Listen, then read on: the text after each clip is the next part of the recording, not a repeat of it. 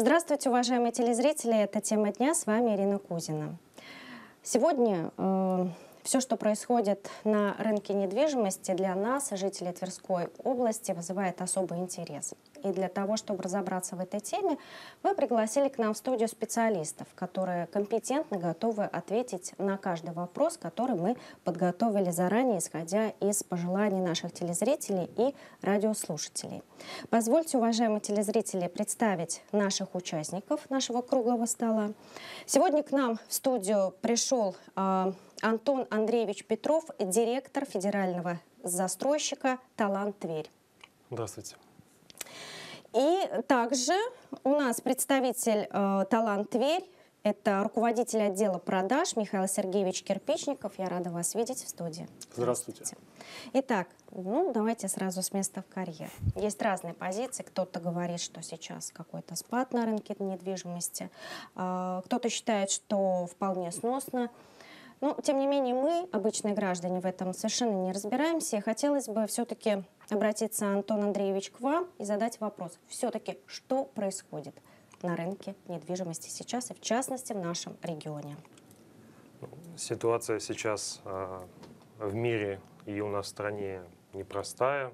Э, это отражается, конечно, и на рынке недвижимости. Основные моменты, которые сейчас отрицательно воздействуют – первую очередь это, конечно, то, что Центробанк повысил ключевую ставку до 20%. А, Еще такой момент а, неприятный, то, что разрушились сейчас логистические цепочки поставки строительных материалов. А, и, конечно же, это инфляция, которая есть. Вот. Что касается банков, наша компания работает с несколькими банками. Э, по России. В частности, проект, э, который мы реализуем в Твери, наш партнер является Сбербанк. А, по текущим проектам каких-то изменений у нас нет. А банки сохраняют а, ставку, поэтому сейчас каких-то трудностей мы с этим не ощущаем. Что касается спроса на недвижимость, э, на новостройки, то в начале марта и в середине марта спрос был достаточно высокий. А, это обусловлено тем, что люди, как у нас говорят, пытались успеть в последний вагон запрыгнуть, потому что все понимали, что ключевая ставка 20%, соответственно, неизбежно будет поднятие ключевой ставки. Вот, поэтому люди старались вложить те деньги, которые у них есть, э, на старых условиях. А, по вторичке э, ситуация не совсем, наверное, такая благоприятная, потому что ставка сейчас порядка 18,5%, вот, поэтому мы полагаем, что сейчас будет э, небольшой спад. Э, в целом правительство э, страны и правительство области помогает сейчас э, застройщикам, потому что все прекрасно понимают, что строительство – это такой драйвер – это такой локомотив э, в экономике. Э, сейчас э, предпринимаются меры поддержки, то есть в том числе и это и льготная ипотека. Да, она немного не такая, как была в прошлом году, но тем не менее все равно сейчас дают под 12%, что в принципе неплохо. Учесть, что сейчас ключевая ставка, повторюсь, 20%. Также сейчас регламенты меняют градостроительные, помогают застройщикам более скажем так, оперативно проходить э, некие процедуры, которые раньше занимали месяца, сейчас это происходит намного быстрее. В частности, это и внесение изменений в генеральный план, э, в правила землепользования застройки. Вот. Поэтому в целом я считаю, что перспективы какие-то работы у нас есть. В общем, жить можно. Жить можно, да. Несмотря на то, что а, ситуация быстро очень меняется, да. А вот, э, Михаил Сергеевич, подскажите, пожалуйста, какие сейчас востребованы предложения на рынке жилья? Цена какая? Что будет вообще с ценами на жилье в обозримом будущем? Какой-то вот прогноз можете дать? А, да, в этом вопросе очень важно отметить, что э, то, какие квартиры покупают, э, это действительно напрямую показывает ситуацию на данный момент в стране, ситуацию в мире.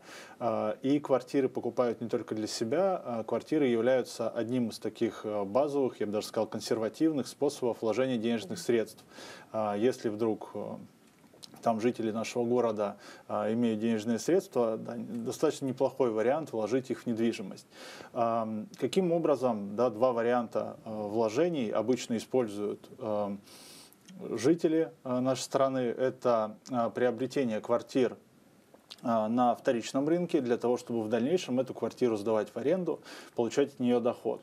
И, соответственно, это приобретение новостройки для того, чтобы по окончанию строительства либо также зарабатывать э, на аренде, либо реализовать эту квартиру и заработать на э, вот дельте цены от начала строительства до окончания. Цена на новостройке в любом случае будет увеличиваться. Это э, ну, даже не тенденция, это скорее вот закономерность, которая абсолютно всегда будет справедлива. Поэтому, конечно, если мы говорим про там, окончания, например, предыдущего года, то, наверное, а, потребность и в новостройках, и во вторичке была а, приблизительно одинаковая. Сейчас же с изменением цен на ипотеку, то, о чем сказал Антон Андреевич, действительно востребованы на рынке именно новостройки, первичная недвижимость, поскольку а, большинство квартир все-таки покупается в ипотеку, а значит и первоначальный взнос очень сильно влияет на ну, финансовую нагрузку покупающего. Ну, в этом смысле 12% и 20% это совершенно разные цифры. Ну, а вот смотрите, квартиры для тех, кто долго не решался на покупку, для них тема это уже совсем закрыта? А, на самом деле нет, а, нет. А, вот как раз то, о чем мы говорили ранее, ситуация меняется достаточно оперативно, но это не говорит о том, что нужно в долгий ящик откладывать приобретение квартиры, если такая необходимость есть. Нужно просто более детально подходить к ситуации и находить какие-то более выгодные предложения. А, вот как раз если, например, сравнивать а, вторичную недвижимость и новостройки, ну тут абсолютно точно новостройки выигрывают а, вот, в этом выборе.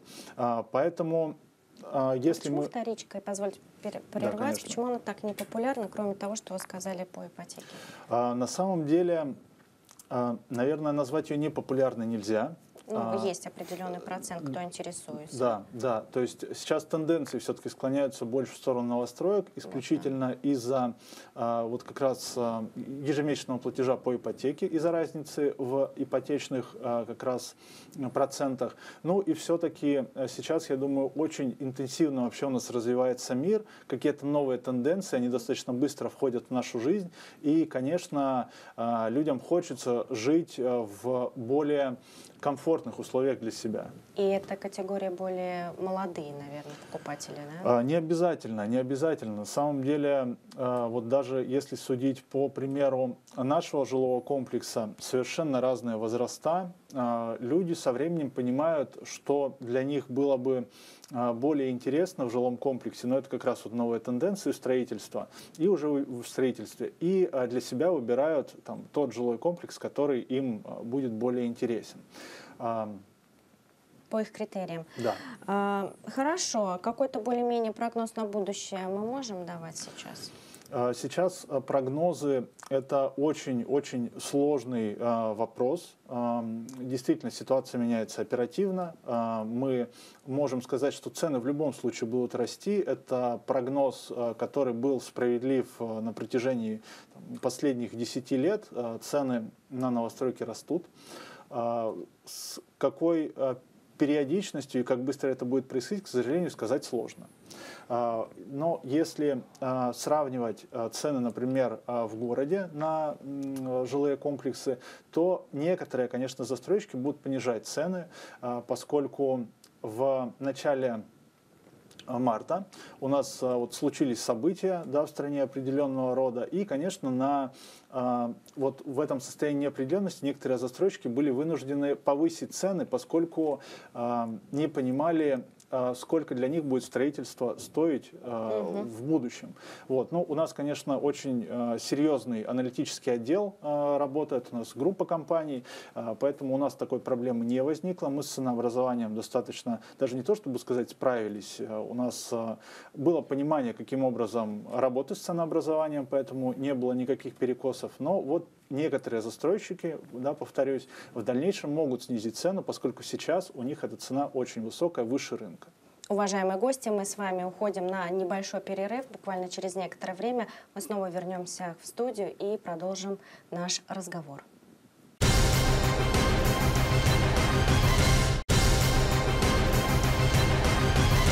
Реклама прошла быстро, и мы снова в студии программы «Тема дня». С вами Ирина Кузина. Тема этой программы связана с рынком недвижимости на территории Тверской области и в областной столице. Для того, чтобы ответить на все интересующие нас вопросы, мы пригласили в студию представителя федерального застройщика «Талант Тверь». Сегодня с нами директор Антон Андреевич Петров и Михаил Сергеевич Кирпичников, руководитель отдела продаж. Итак, мы первый блок с вами закончили, очень важный и интересный. В целом понимаем, что более-менее сейчас происходит. А, но больше всех вопросов а, от наших жителей поступает по части ипотеки. И нам важно сейчас понимать, а, как быть. Все-таки я только открываю новости, вижу о том, что, например, Сбербанк уже аннулирует заявки на ипотеку, одобренные до повышения ставок, льготная подорожает, все начинаем волноваться. Так вот, все-таки, я думаю, что, наверное, Михаил Сергеевич, вы нам ответите, как ее лучше получить, эту ипотеку, кому она сейчас все-таки доступна. А потом мы с вами будем говорить про IT-сектор, который очень так вот активно сейчас развивает. А, да, действительно, вы говорите абсолютно верно. А, очень динамично меняется ситуация, динамично меняются ставки много аспектов э, претерпели изменения, э, на что сейчас стоит обратить внимание. Э, действительно, ранее для жителей страны у нас были доступны различные варианты ипотек. Это льготная ипотека, ипотека для молодых семей. Ну и да, действительно, про IT, я думаю, мы поговорим отдельно. Что касается льготной ипотеки, она претерпела изменения, а, изначально может показаться негативное, но э, не совсем все так очевидно. А, действительно увеличилась процентная ставка. Если раньше в среднем а, ипотека льготная была порядка 7%, для этого нужно было покупать квартиру именно в новостройке, сейчас процентная ставка будет приблизительно 11-12, в зависимости от банка. А, но вместе с тем увеличился а, лимит денежных средств, которые могут быть выданы по данному кредиту. Если ранее это было 3 миллиона, сейчас это будет 6 миллионов. Uh-huh. Расскажу на таком коротком примере. Для того, чтобы купить квартиру, например, большую, там, трехкомнатную, клиенту ранее нужно было иметь 2 миллиона, за 5 миллионов он покупал квартиру, 2 миллиона собственные средства и только 3 миллиона кредитные. Сейчас он может 15% это 750 тысяч иметь собственных средств, все остальные деньги он может взять в кредит по льготной ипотеке. То есть, несмотря на то, что ставки увеличились, увеличились и лимиты, а, соответственно, ипотека стала более доступной для определенной категории а, жителей. А что это за категория? А категория, у которых э, нет на данный момент большого количества свободных денежных средств. Понятно. Да, и что касается ипотеки для молодых семей. А, здесь точно так же увеличились лимиты и совсем незначительно увеличилась процентная ставка. Раньше это было а, порядка 4,5, теперь это будет порядка 6%. То есть на самом деле полтора процента они будут совершенно неощутимы, но то, о чем мы говорим, что теперь квартиры стали более доступны. По данной а, программе нужно, чтобы родился ребенок у семьи после 2018 года. Если ребенок родился, пожалуйста, подавайте заявку в банк, получайте ипотеку, ну вот, покупайте квартиру.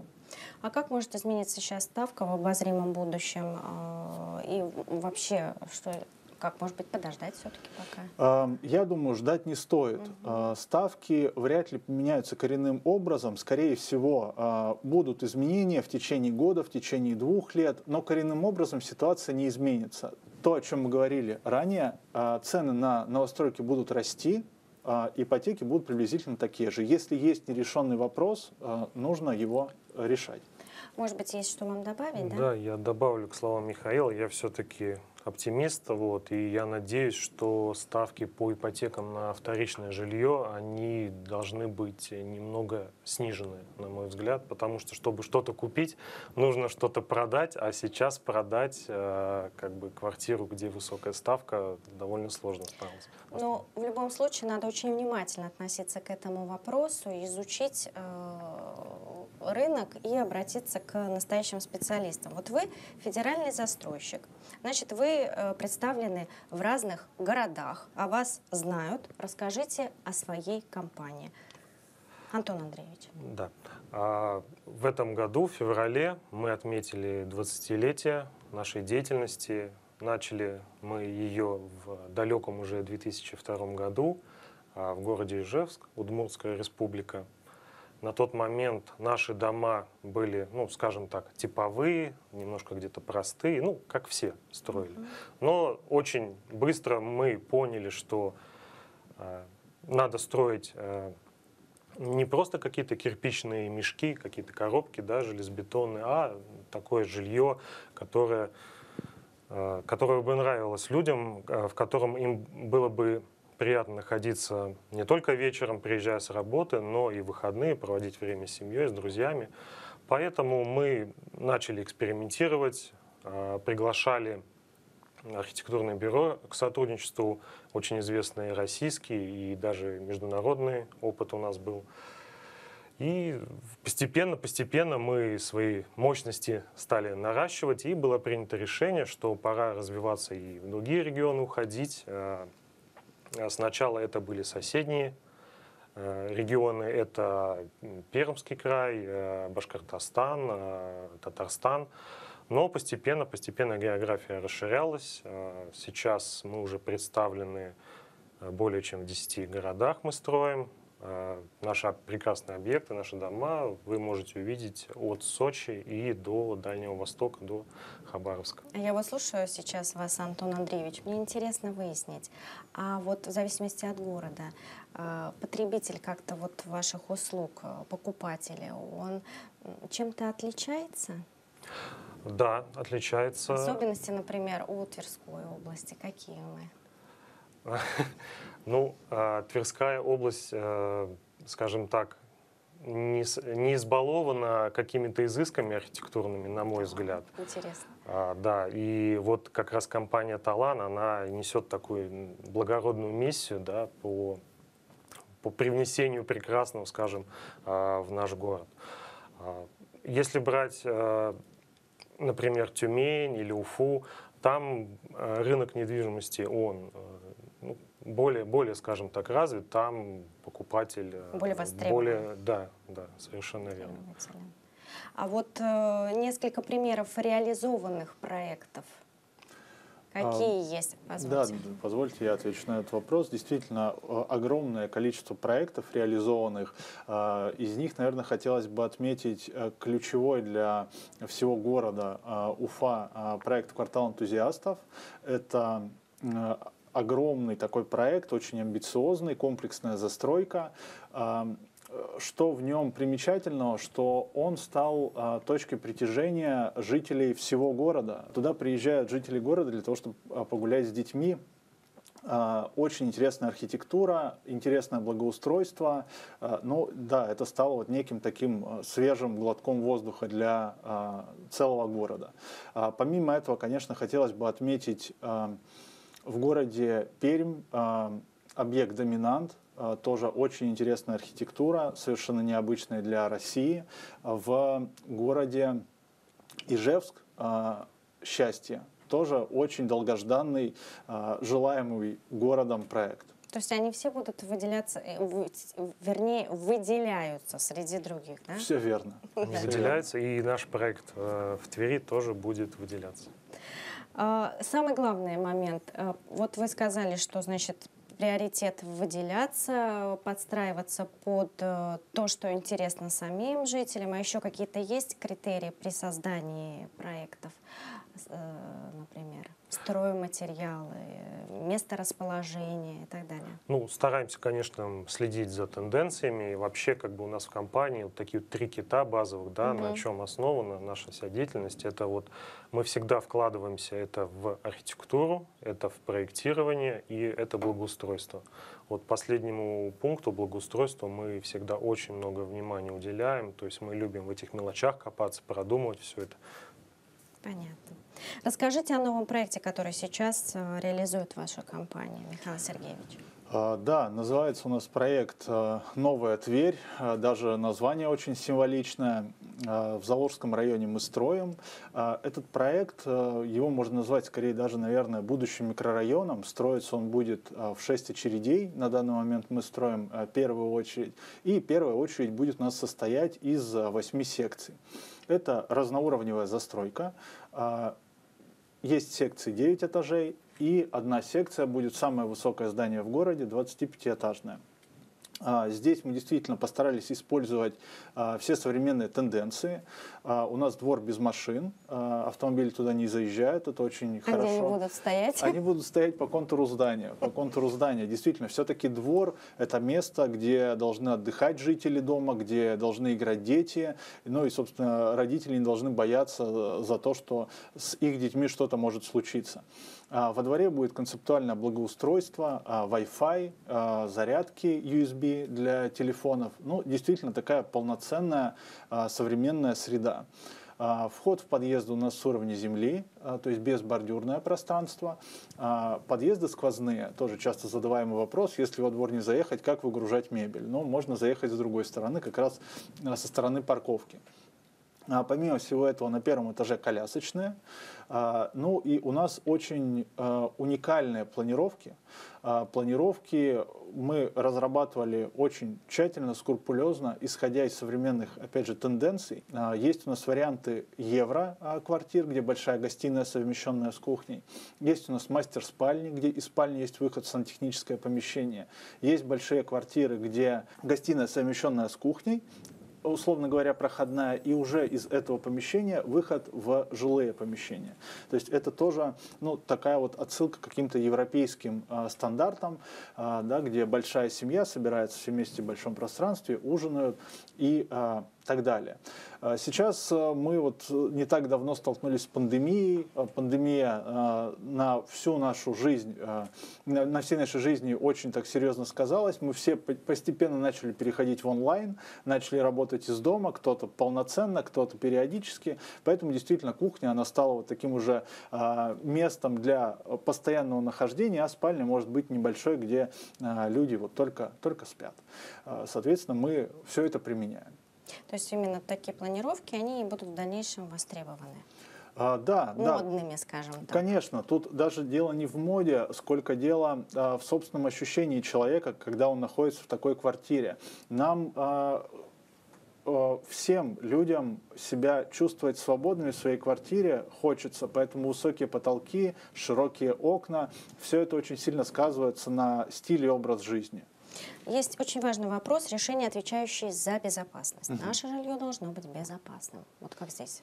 А, Да, все верно. Мы вот частично уже коснулись этого вопроса. А, У нас будет двор а, без машин. Помимо всего прочего, двор будет а, у нас закрыт, будет стоять забор, посторонние не смогут а, посещать двор.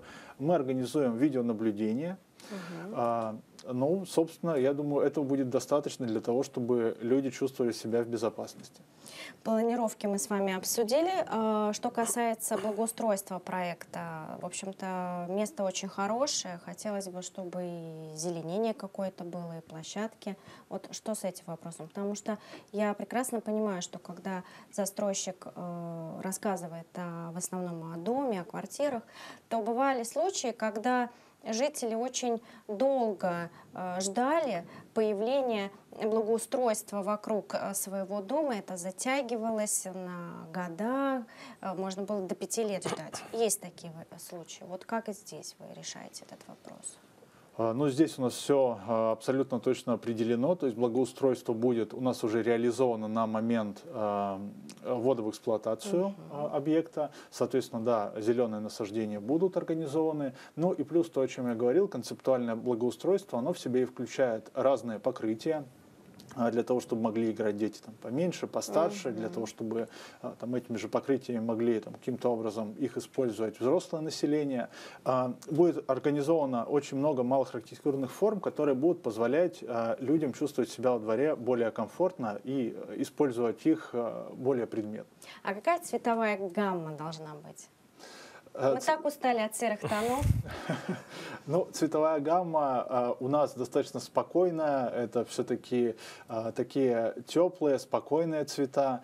Э, ну, действительно, будет смотреться интересно из-за того, что у нас э, интересная архитектурная форма, разноуровневая застройка. У нас э, разноуровневая получается не только э, вот издалека будет видеться дом, еще и вблизи тоже есть определенная геометрия определенного рода. Дом будет красивый, это абсолютно точно. Ну, мы немного с вами прерываемся на небольшую паузу. Буквально через некоторое время мы снова, уважаемые телезрители и радиослушатели, в студии «Тема дня». Оставайтесь с нами.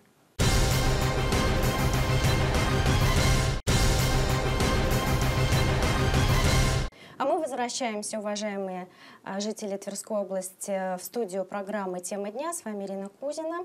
Мы сегодня с вами обсуждаем тему, связанную с рынком недвижимости. Судя по нашим звонкам, которые мы получаем в нашу редакцию, это наиболее острая тема, которая вызывает сейчас интерес. Для того, чтобы ответить на все вопросы, э, мы пригласили к нам в студию специалистов. Это федеральные застройщики «Талант Тверь». С нами сегодня Михаил Сергеевич Кирпичников и Антон Андреевич Петров. Итак, мы с вами, э, в общем-то, поговорили по новому проекту, и, скорее всего, те квартиры, о которых вы рассказывали, вызовут э, особый интерес у тех, кто работает в IT-сфере. Я сейчас поняла, что мы как раз на эту тему с вами не поговорили. Да, да, как раз а, про ипотеку э, для IT-специалистов э, у нас появилась в России новая программа, эм, которая нацелена на удержание IT-специалистов. И сейчас, может быть, те, кто работает в IT-сфере, э, уже начали задумываться о том, как этой ипотекой воспользоваться. На самом деле, наверное, нужно будет немножко огорчить, эм, поскольку эта ипотека направлена на очень узкий э, круг э, специалистов э, в IT-сфере. Есть два условия, ну точнее оно одно зависит от места проживания. Э, обязательно э, должен действительно человек работать в сфере IT, и его зарплата ежемесячная должна быть, если это города-миллионники, э, 200 тысяч рублей, и если это города не миллионники, то 150 тысяч рублей ежемесячно. Вот, зарплата достаточно высокая, поэтому я думаю, что далеко не каждый IT-специалист специалист сможет воспользоваться этой ипотекой. А, к тому же а, сами создатели этой программы а, хотели привлечь за счет нее только самых востребованных специалистов и предположительно планируют выдать по данной ипотеке около 5000 кредитов. В разрезе страны это немного. Мало, да, достаточно. Но все равно спасибо, что проинформировали. Как сдаются квартиры в Новой Твери? Гарантия на квартиру? Антон Андреевич? Квартиры сдаются с предчистовой отделкой. А, мы также выполняем а, разводку инженерных коммуникаций в полу, труб отопления, ставим счетчики на воду, на газ и на тепло. А, из таких фишек, да, если можно так сказать, мы делаем дополнительную шумоизоляцию в полу. Мы заботимся о наших будущих жильцах, поэтому предусмотрели вот такую опцию – надеемся, что она поможет снизить ударный шум, шум от соседей, вот, чтобы он не распространялся и чтобы нашим жильцам ничего не мешало наслаждаться э, жизнью в наших э, квартирах. А, что касается гарантии. Гарантия у нас идет 5 лет на основные конструкции и 3 года на инженерные коммуникации. Так все-таки какие мы можем дать сейчас советы по покупке жилья? Какие нужно вопросы задавать, э, э, когда ты пришел купить э, жилье? Какая должна быть квартира, отвечать каким требованиям для того, чтобы она именно для этой семьи, для этого человека стала идеальной? И в ценовом, и в качественном соотношении. Да, ну, наверное, конечно, сто, стоит сначала сказать о э, каких-то таких базовых вещах, как, например, э, вот система оплаты. То есть в любом случае нужно посчитать, сколько будет ипотека, понимать, э, сколько стоит квартира, сколько будет ежемесячный платеж, какие будут затраты на подписание страхового договора, который обязательно при, при выдаче ипотеки, ну и все-таки отталкиваться от бюджета. То есть вот это финансовое планирование, оно очень важно, и не всегда а, там, житель нашего города сможет самостоятельно это сделать. То есть тут, конечно, если есть возможность обратиться к профессионалу, к специалисту, нужно это делать.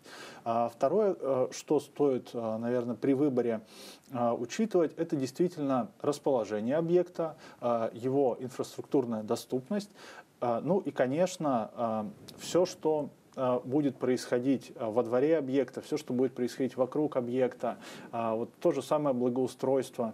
Наверное, нужно просто подумать, каким образом человек будет с работы каждый день возвращаться в свой дом и понять, что нужно. То есть, вот, если говорить о нашем проекте, почему мы используем эти тенденции, да, ведь мы могли бы строить и без них.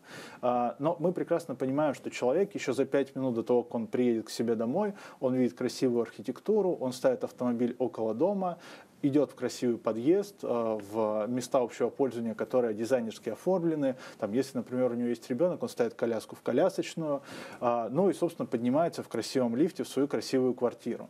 А, поэтому сейчас тенденции очень а, меняются в сторону а, как раз благоустройства, в сторону удовольствия от проживания в объекте в целом, а не только в квартире. Ну, знаете, вот мы привыкли заходить практически закрытыми глазами по подъезду к себе домой. Вот сейчас от этого люди стараются избавиться. Антон Андреевич, а как власти сейчас будут поддерживать застройщиков? Как вы думаете? Ну, буквально на днях э, Марат Хуснулин э, сообщил, что сейчас э, всем застройщикам тоже будет предоставляться льготное кредитование в размере 15%. То есть это тоже должно нас, конечно, стимулировать. Из таких мер поддержки еще сейчас разрабатывается пакет по импортозамещению. То есть если какой-то материал импортного производства был его сейчас можно будет поменять на российский аналог. При этом э, процедура либо будет упрощена, либо вообще не будет переэкспертизы. То есть как раньше мы любую замену, мы должны были через экспертизу uh-huh. проходить, то есть сейчас э, вот этого не будет чтобы как можно мягче произошел вот этот переход в нынешних условиях, правильно? Совершенно верно, совершенно верно. Но у нас остается немного времени, и все-таки, когда мы говорим о прогнозе, как будет развиваться рынок в дальнейшем в связи вот с этими мерами поддержки, 2022 э, ну, наверное, заглядывайте в 23 пока еще рано, да? Судя по тому, как быстро меняется обстановка в мире, в России и так далее. А, кто первый возьмет слово? А, да, я, наверное, вот хотел бы еще раз повторить то, о чем мы говорили, говорили ранее. А, если есть необходимость приобретения жилья, а, нужно приобретать. Вот да, Антон Андреевич э, заметил, что а, ситуация по вторичной недвижимости может измениться в вопросах ипотеки. Поэтому, конечно, если есть а, там, вторичная недвижимость, которую вы хотели бы продать, нужно хорошо подумать, стоит ли ее продавать сейчас или, может быть, дождаться каких-то более, более благоприятных времен. Вот. Но что касается приобретения а, новостроек, абсолютно точно, если есть возможность, нужно это делать. С процентами на ипотеку кардинально ничего уже не изменится. Это наша ну, новая реальность. Новая реальность. Да, мы, мы живем в ней. Ну, а цены абсолютно точно будут только расти. А, опять же, возвращаясь к тому, что говорил ранее, нужно, конечно, проанализировать рынок, посмотреть цены а, у всех застройщиков, то есть не покупать у там, первого да, вот, подходящего или там, который строит в соседнем дворе. Нужно анализировать рынок, можно прийти навстречу к одному застройщику, к третьему, вот, и уже исходя из этого делать выбор. Может быть, послушать какие-то отзывы, если они есть. Узнать о том, э, застройщик сколько лет на рынке все-таки. Если однодневка, то, мне кажется, наверное, надо быть очень аккуратным. Конечно, конечно, да. А, Вопрос безопасности, он по-прежнему очень важен, наверное, даже еще более актуален, чем это было ранее. Сейчас а, мы все понимаем, что ситуация влияет на застройщиков достаточно серьезно, поэтому крупные федеральные застройщики, те, у кого есть поддержка, те, у кого есть подушки безопасности финансовые, они себя чувствуют комфортно. А, Плюс к тому, вот а, чаще всего у федеральных застройщиков есть большие отделы юридические, аналитические, которые занимаются вот решением всех этих вопросов. Да? Если, вот как вы говорите, застройщик местный, а, просто ну, он не может держать там такой большой штат для решения каких-то стратегических вопросов, и это может действительно сказаться ну, в дальнейшем не очень положительно. Ну, мы завершаем и предоставляем вам слово все-таки, если что, кому обращаться. Специалисты должны быть проверены. Э, Наша компания Талан – это надежный партнер, который уже, как я говорил, давно на рынке недвижимости, э, более 20 лет. Поэтому мы всегда готовы прийти на помощь э, нашим жителям нашего города, нашей области. Поэтому, конечно, следует к нам обращаться. Мы не откажем в помощи, проконсультируем, все расскажем. А я, в свою очередь, Антон Андреевич, Михаил Сергеевич, я благодарю вас за то, что вы пришли к нам в студию, ответили на все вопросы. А мы говорили о рынке недвижимости. Помните о том, что все меняется, но обращаться нужно всегда к тем, кто хорошо разбирается в той или иной сфере. А сегодня мы говорили про недвижимость, о вещах, которые волнуют абсолютно каждого из нас. Всего доброго, до новых встреч. Это была программа «Тема дня», и с вами была Ирина Кузина. До свидания. Спасибо вам. Спасибо. Спасибо.